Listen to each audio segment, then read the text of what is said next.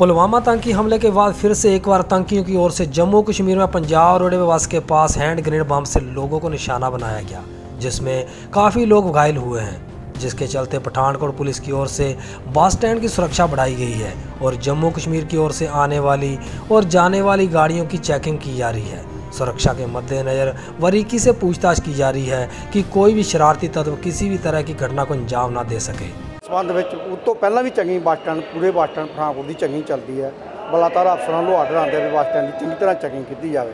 ਲੇਕਿਨ ਅੱਜ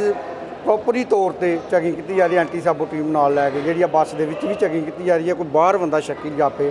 ਉਹਦੀ ਵੀ ਸਮਾਨ ਦੀ ਚੰਗੀ ਤਰ੍ਹਾਂ ਚੈਕਿੰਗ ਕੀਤੀ ਜਾ ਜੇ ਕੋਈ ਲੇਡੀ ਸ਼ੱਕੀ ਜਾਪਦੀ ਉਹਦੀ ਲੇਡੀ ਰਾਹੀਂ ਚੈਕਿੰਗ ਕਰਾਈ ਜਾਵੇ। ਅੱਜ ਅੱਜ ਕੀ ਕਰਨਾ ਚਾਹੀਦਾ